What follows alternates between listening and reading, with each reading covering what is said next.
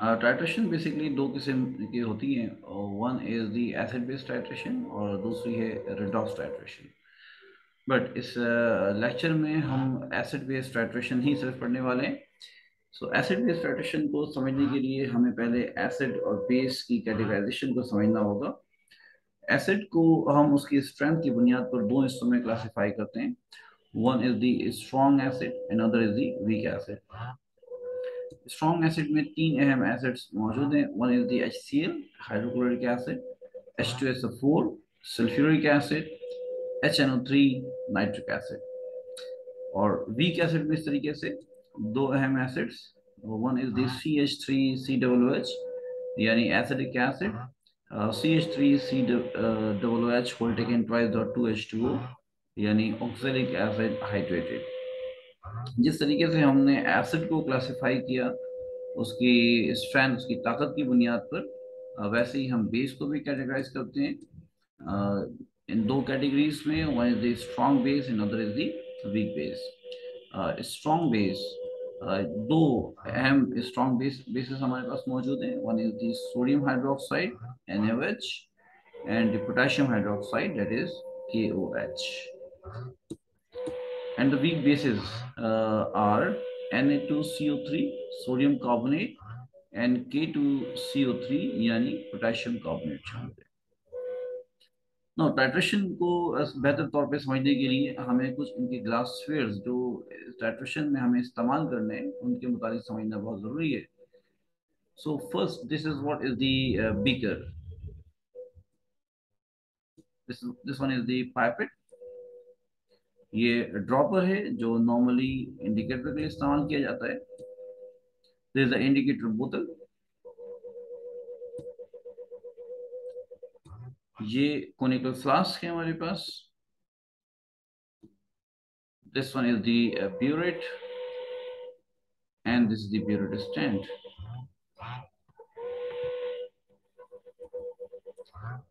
next जैसा कि हमने टाइट्रेशन के हवाले से हमने पढ़ पढ़ लिया है वक्त कि स्ट्रेंथ के एतबार से एसिड्स दो किस्म के हैं स्ट्रॉन्ग और वीक और बेस इस तरीके से दो किस्म के होते हैं। सो so, इस एतबार से हम टाइट्रेशन को एसिड और बेस की स्ट्रेंथ की बुनियाद पर चार हिस्सों में क्लासीफाई कर सकते हैं। One is the strong acid is strong base weak acid is strong base strong acid weak base and weak acid weak base since कि ये weak acid weak based titration क्योंकि रिलेटिवली ये एक मुश्किल टाइट्रेशन होती है, इसलिए ये आपके कोर्स में शामिल नहीं होगा। यानी हम सिर्फ़ और सिर्फ़ तीन किस्म की टाइट्रेशन की हम बात करेंगे। ना इंडिकेटर की सिलेक्शन हम किस बुनियाद पे करते हैं? ज़ाहिर सी बात है, हमारे पास सिर्फ़ तीन ही कैटेगरी रह चुकी है। अब हम इसे फर्दर डिवाइड करते हैं दो हिस्सों में। One is the on the base of the strength of the base only यानी स्ट्रॉन्ग बेस हमें मालूम है कि this one is the strong base acid की चाहे स्ट्रेंथ कुछ भी हो बेस स्ट्रॉन्ग है। अगर बेस स्ट्रॉन्ग हो तो दोनों सूरतों में आपने इंडिकेटर क्या इस्तेमाल करना है? फिनोफ्थिल एंड दिस वन इस केस में हमारे पास जो बेस है, वो वीक है। तो हमें इंडिकेटर क्या इस्तेमाल करेंगे? मिथाइल ऑरेंज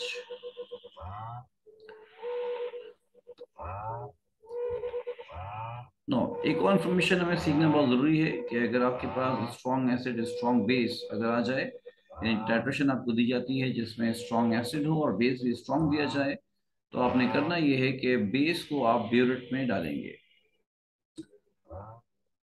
वंस अगेन अगर स्ट्रॉन्ग बेस है यानी सिर्फ़ और सिर्फ़ स्ट्रॉन्ग बेस होने की बुनियाद पर हम ये फैसला कर रहे हैं बेस अगर स्ट्रॉन्ग है तो वो बीरड में जाएगा। एंड इन केस कि बेस अगर वीक हो तो इस सूरत में एसिड को हम बीरड में डालेंगे। ये अगर आपको याद रहेगी बातें तो आप बसानी एक्सपेरिमेंट को आसानी से परफॉर्म कर सकेंगे।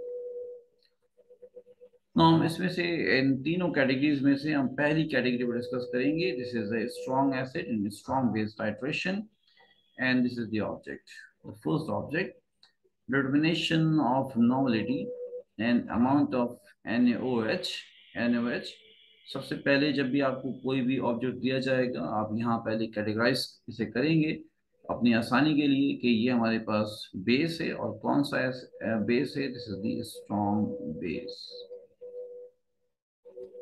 in gram per 850 centimeter cube given 0.1 and solution of HCl. HCl हम जानते हैं कि this is what is the strong acid तो पहले तो आपने ये समझ लिया कि हमारे पास स्ट्रॉन्ग एसिड और स्ट्रॉन्ग बेस टाइट्रेशन है ये। इसके लिए हमें करना क्या होगा? यकीन तौर पर जैसे हम इससे पिछली स्लाइड में हम ये बात पढ़ चुके हैं कि आपने बेरुट में क्या करना है? बेरुट में आपने क्योंकि बेस हमारे पास स्ट्रॉन्ग है तो इसमें आपने एन यानी बेस डालेंगे।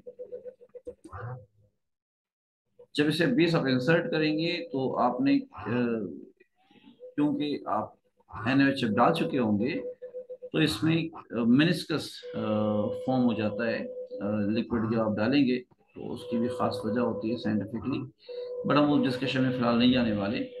तो आपने हमेशा क्या करना है लोअर मिनिस्कस को आपने देखना है। तो यहाँ पर ये तीन डायरेक्शंस बनी हुई हैं आइस की तो this is the correct direction और इस डायरेक्शन से अगर आपने देखा तो ये गलत होगा। इस डायरेक्शन से देखा तब भी ये गलत होगा। तो आपने हमेशा बेरूट को किस तरीके से देखना है तो उसके जस्ट आई लेवल पे रख करके आप देखेंगे ताकि सही रीडिंग आप नोट कर सकें।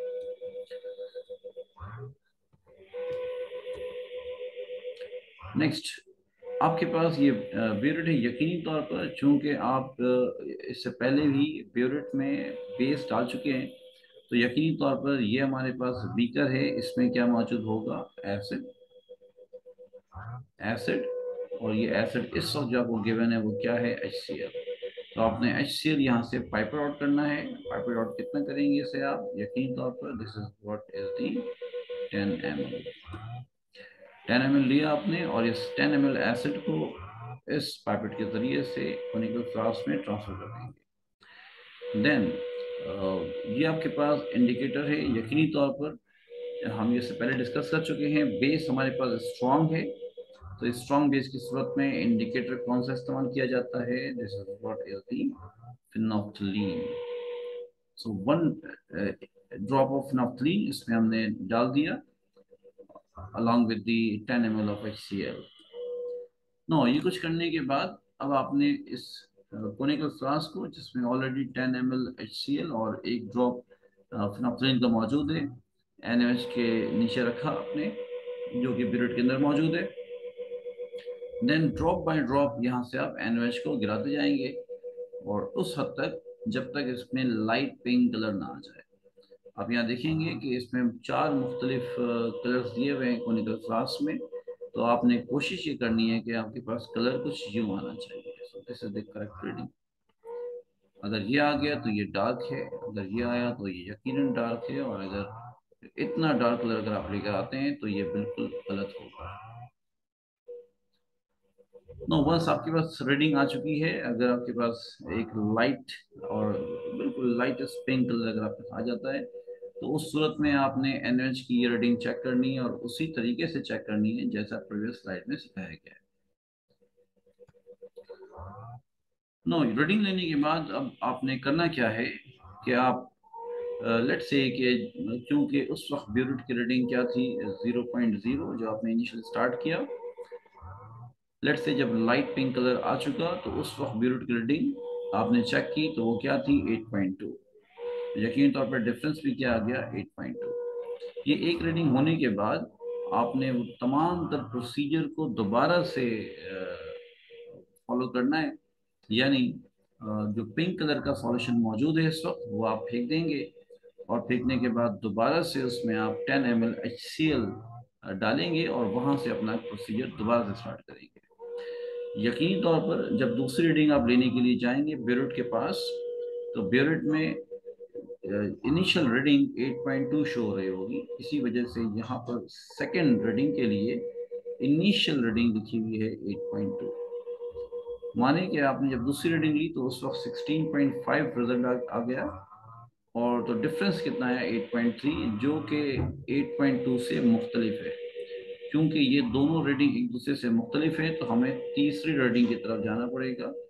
और फिर हम उसी काम को रिपीट करेंगे। यकीन तौर पर जब तीसरी रीडिंग की तरफ़ आप जाएँगे तो इनिशियली आपके पास 16.5 की रीडिंग शो रही होगी। और पिंक कलर आने के बाद माने के ब्यूरेट आपको रीडिंग शो करता है 24.8 तो इसका मतलब क्या हुआ कि डिफरेंस है 8.3 इस मतलब हम ये देख रहे हैं कि ये सेकेंड और थर्ड अटैम्प में दो रीडिंग सेम आ रही है।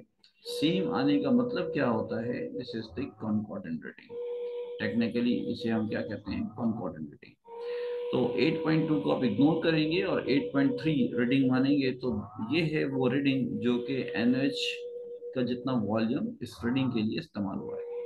अगेंस्ट द 10 ml HCl ना ये ऑब्जर्वेशन आने के बाद हमें अपनी जो ऑब्जर्वेशन के जो रिजल्ट्स हैं, उससे आप मेंशन करेंगे यहाँ पर, आप यहाँ देखिएगा। ये सब चीज़ें आपको ऑलरेडी वैसे मालूम ही है। सॉल्यूशन इन ब्यूरेट क्या मौजूद है? एन एच मालूम है हमें। सॉल्यूशन इन कोनिकल फ्लास्क हमने क्या डाला था? एच सी एल नॉमिनिटी ऑफ़ एसिड uh, जो आपको गिवन ही है यहाँ पर this is what is this 0.1 N solution solution of L तो ये भी आपको गिवन है ऑलरेडी नॉमिनिटी ऑफ़ बेस ये आपको नहीं मालूम जो आप कैलकुलेट करेंगे इसके बाद के स्लाइड में हम चेक भी करेंगे इसे। Volume of acid ten centimetre cube centimetre cube यहाँ पर मेंशन है और मैंने आपको बार बार एमएल का वर्ड इस्तेमाल किया तो याद रखिएगा टेन सेंटीमीटर क्यूब कहा जाए। या टेन एम कहा जाए, दोनों का मतलब सेम होता है। तो ये वो वॉल्यूम है जो पाइपेट आउट किया हमने एच का वॉल्यूम इसको डिनोट करते हैं हम वी से। वॉल्यूम ऑफ़ वेस ये वैसे तो हमें मालूम नहीं होता ऑब्जेक्ट के एतबार से बट हमने अभी अभी रीडिंग से ये मालूम किया है, उसकी रीडिंग क्या आती है 8.3 तो यकीन तौर पर यहाँ पर आपने लिखना क्या है इस वक्त 8.3 जो कि इंडिकेटर हमने कौन सा इस्तेमाल किया? फिनोफ्थरीन हमें मालूम है किस बुनियाद पर हमने इस्तेमाल किया चूँकि बेस स्ट्रॉन्ग है, इसलिए फिनोफ्थरीन बेस इस्तेमाल किया जाएगा। फिनोफ्थरीन इंडिकेटर इस्तेमाल किया जाएगा। इसमें चेंजिंग क्या आती है कलर में? टाइट्रेशन के दौरान कि ये कलरलेस होता है इनिशियली एसिड में, और जब इससे बेस रिएक्ट करता है और न्यूट्रलाइजेशन की तरफ़ मामला जाता है तो इंडिकेटर अपना पिंक कलर शो करता है। नो ये ऑब्जर्वेशन आ जाने के बाद अब हम कैलकुलेशन की तरफ़ बढ़ेंगे और कैलकुलेशन में आप देखिएगा, आपको, आपके पास जो पहला फॉर्मूला है नॉमिनिटी मालूम करने का, जो कि बेस की नॉमिनिटी हमें निकालनी थी, हमें नहीं मालूम इस वक्त। इसका फॉर्मूला होता है N A B as equals to N B B B और हम ये देख चुके हैं प्रीवियस स्लाइड में एन ए का मतलब क्या हो गया? नॉमिनिटी ऑफ़ एसिड जो कि आपको गिवन है। V A volume of acid जो आपने टेन एम एल आउट किया था एन बी नॉमिनिटी ऑफ़ बेस जो हम मालूम करेंगे V B volume of base जो कि ब्यूरेट की रीडिंग आई है, जो इस वक्त एट पॉइंट थ्री है। तो अकॉर्डिंगली आपने तमाम वैल्यूज़ यहाँ पर पुट की और आखिरकार आपके पास वैल्यू आ जाती है zero point one two N that is the of base next हमारे पास स्टेप होता है कि हम इक्वलेंट वेट मालूम करें जिस भी सब्सटेंस के लिए आपको कैलकुलेशन का कहा गया है या उसका अमाउंट मालूम करने के लिए कहा जाता है so equivalent weight of NH हमने मालूम किया तरीका क्या होता है इसका molar mass of NaOH divided by the acidity of NaOH. Molar mass आपने निकाला uh, atomic mass of sodium, oxygen and hydrogen. So the what is the NaOH को आपने ऐड किया तो इसकी वैल्यू होती है 40 और एसिडिटी ऑफ़ NaOH क्या है? This is what is the 1 so finally equivalent weight NaOH का हमने मालूम किया वो क्या है? 40 एक मिनट वेट मालूम करने की वजह क्या है कि क्योंकि हमें uh, जो सेकंड फ़ेज़ है इस क्वेश्चन का जिसमें आपसे ये कहा जाता है कि amount of N H in gram per D M cube ये पार्ट आप मालूम कीजिए। तो इसे मालूम करने के लिए आपको एकलेंट वेट की भी ज़रूरत पड़ती है। इस वजह से हमें एकलेंट वेट मालूम करना ज़रूरी है। आगे बढ़ते हैं हम। Third part this is the method जिसमें आप amount of NOH in gram per 850 centimetre cube आप मालूम करेंगे। फॉर्मूला क्या होता है इसका? नॉमिनिटी ऑफ़ एनओएच जो आपने मालूम की है, हमें ये बात मालूम है। प्रीवियस स्लाइड में हमने चेक किया। The value is 0.12 N then equivalent weight हमें ये भी मालूम है कि हमने अभी भी कैलकुलेट किया है that is 40 given volume given volume कौन सा वॉल्यूम है वो, जो कि आपको क्वेश्चन में ही हमेशा गिवन होगा, वो है 850 सेंटीमीटर क्यूब वो यहाँ प्लेस करेंगे और आपने इसको डिवाइड करना है थाउज़ेंड से. याद रहे कि जब भी यूनिट आपकी सेंटीमीटर क्यूब में गिवन हो वॉल्यूम की यूनिट तो ये थाउज़ेंड से डिवाइड होगा और अगर ये यूनिट वॉल्यूम की यूनिट डीएम क्यूब में हो तो थाउज़ेंड से डिवाइड हमें नहीं करना है। इस फॉर्मूले में आपने अकॉर्डिंगली तब्दीली खुद से करनी होगी। ये देखते हुए कि वॉल्यूम की यूनिट क्या गिवन है। वेल well, तमाम तरह वैल्यूज़ को हमने यहाँ पर पुट किया और पुट करने का जब हम इसका आंसर कैलकुलेट करते हैं सो this is 4.08 gram per 850 centimetre cube तो इस आंसर का मतलब क्या होता है कि माने कि आपके पास जो बेस आपको दिया गया है, अगर उस बेस का volume let say this is what is having the NH solution जो आपने ब्यूरेट में डाला था। इस एनएच का वॉल्यूम अगर 850 ml है, ml means to say the centimetre cube तो यकीनी तौर पर इसमें NaOH कितना डिजोल्व किया गया था? यानी 850 एल पानी लेकर के उसमें 4.08 ग्राम NaOH डाला गया था। इस आंसर का मतलब ये होता है। सो आखिरकार आपने इसका मास भी मालूम कर लिया अमाउंट भी मालूम कर लिया और नॉमिलिटी भी। सो फाइनली रिज़ल्ट आप कॉपी करेंगे अब। कि आपने दो चीज़ें मालूम की हैं। One is the normality of given N solution जो आपसे यहाँ पे कहा गया था डिटरमाइन द नॉमिलिटी ये पहला फ़ेज़ था, जो कि 0.12 एन हमने कैलकुलेट की। दूसरा फ़ेज़ अमाउंट ऑफ़ एनओएच ये दूसरा फ़ेज़ है amount of NOH in gram per 850 centimetre cube मालूम करने के लिए कहा गया, जिसका आंसर 4.08 ग्राम पर 850 सेंटीमीटर क्यूब आता है। Thank you very much